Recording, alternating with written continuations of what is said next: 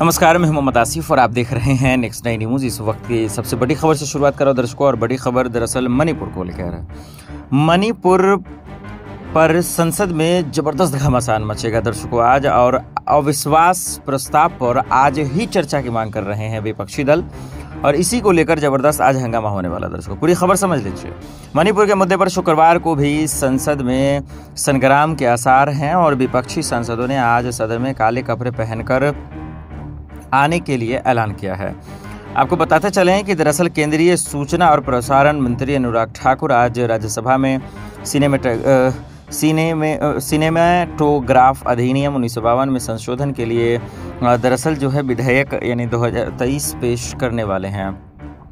काले कपड़े पहनकर आएँगे विपक्षी दल ये आपको बता दें विपक्षी सांसदों ने ऐलान किया है कि गुरुवार को वो को वे मणिपुर के मुद्दे पर विरोध जताने के लिए सदन में काले कपड़े पहनकर आएँगे। कांग्रेस ने दरअसल जो है ये ऐलान किया है। आपको बताते चलें हम्म, और ये तमाम चीज़ें की गई हैं। मणिपुर पर बात करने से मोदी जी भाग रहे हैं ये उनका आरोप है और ये तमाम चीज़ें होती नज़र आ रही हैं। अब देखना पड़ेगा इन चीज़ों को लेकर क्या होता है और ये भी देखना पड़ेगा कि क्या वाकई में मणिपुर मामले पर संसद में आज हंगामा मचेगा, कोहराम मचेगा, क्या वाकई में मोदी जी बात करेंगे इस पर? कल स्मृति ईरानी, तमाम लोग शोर शराबा हंगामा तो कर रहे थे, लेकिन इस मसले की बातचीत की जा रही थी वो हो नहीं रहा था तो इसीलिए अब लोगों की निगाहें इस बात पे है कि क्या अब मणिपुर पर जो है बात करते नज़र आएँगे, ये एक बड़ा सवाल है।